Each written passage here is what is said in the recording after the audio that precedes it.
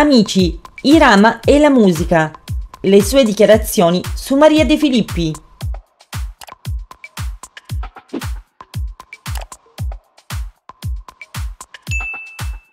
Irama, dopo essersi classificato primo nella diciassettesima edizione di Amici, sta collezionando un successo dopo l'altro.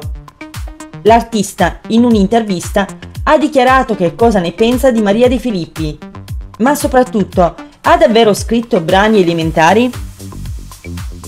Irama, dopo la vittoria ad Amici, spiega in un'intervista tutto di sé. Irama è un ragazzo deciso che sa ciò che vuole.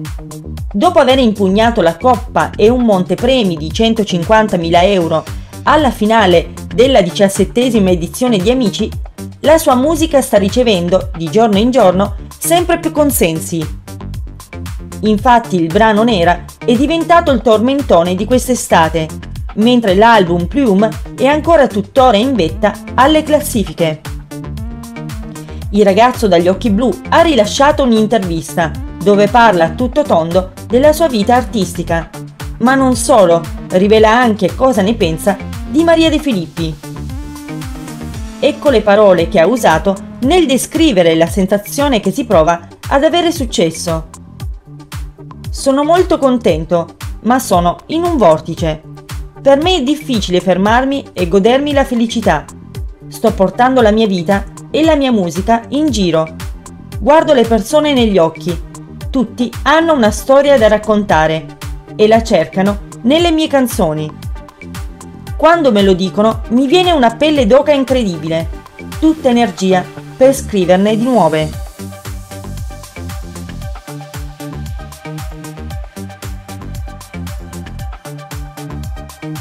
L'artista inoltre spiega in quale momento della giornata è ispirato a scrivere i suoi brani.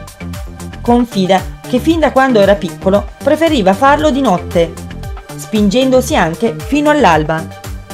Il tutto è iniziato quando aveva sette anni. Ecco come descrive quel momento.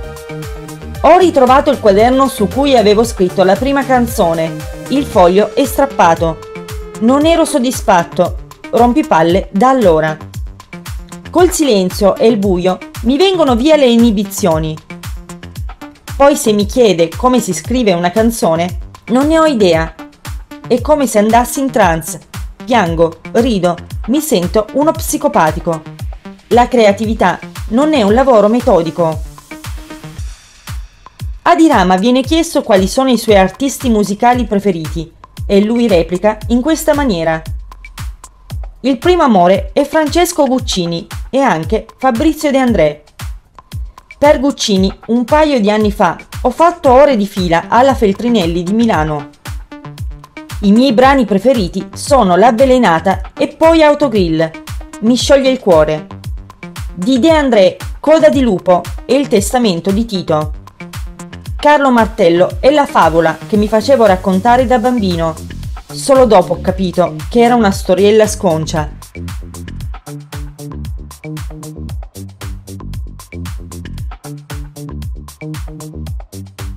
Il vincitore della diciassettesima edizione di Amici racconta la sua esperienza musicale, fin dai primi esordi, fino a rivelare i suoi problemi con la casa discografica Warner. Ed ecco che il discorso scivola sull'hip hop, rivelando queste esatte parole. Sì, sulle panchine a Monza avevo una crew. Parlavamo di cose non adatte alla mia età, avevo 13 anni. Ma non mi sentivo a mio agio non sguazzavo nelle gemme, non sono mai stato un rapper. Non sono hip hop e nemmeno pop, sempre stato un ibrido. Ricordiamo che l'artista era già famoso nel mondo musicale per aver vinto nella sezione giovani il Summer Festival già nel 2016, ma è doveroso sottolineare che qualche mese prima lo stesso aveva calcato il palcoscenico del Festival di Sanremo, perdendo la gara contro Ermal Meta. Da quel momento in poi la sua carriera artistica si è bloccata a causa di incomprensioni con la casa discografica Warner. Ecco come spiega questa situazione incresciosa. Come dice Maria De Filippi, la verità paga. Così l'ho detta tutta, senza filtri, durante Amici. A volte inciampi, a volte ti fanno inciampare. Nel mio caso è stata la seconda. Ma spero di avere alti e bassi per sempre, perché vorrà dire che non ho perso la capacità di risollevarmi. C'è un'intervista a Mina in cui le chiedono dove sei stata? Sei sparita. E lei, la domanda è sbagliata, quella giusta è vi sono mancata? Grazie all'esperienza ad amici ho imparato ad aprirmi al 100% con le persone. Ho sempre preteso di parlare solo con le canzoni, ma ho dovuto imparare a mettermi a nudo a livello personale.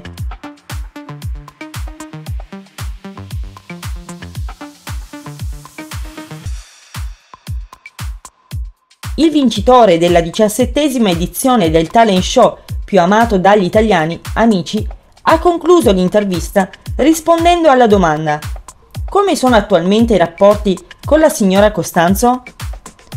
Ecco in che maniera ha replicato. È speciale, mi ha dato tanto a livello personale. Maria è proprio una brava persona, al di là di tutto. E come la vedi, non ha filtri. Mi ha insegnato che la verità paga sempre. L'ho sentita qualche giorno fa per aggiornarla su come vanno le cose e dirle che mi mancava. Come per tutti i personaggi appartenenti al mondo dello spettacolo, esistono i fans, ma anche gli haters. Qualche detrattore un po' cattivello ha riferito ironicamente che Irama, per scrivere nera come la tua schiena con la luna piena, ha effettuato un grosso lavoro di introspezione anche voi credete che questi brani siano molto elementari? A voi commenti!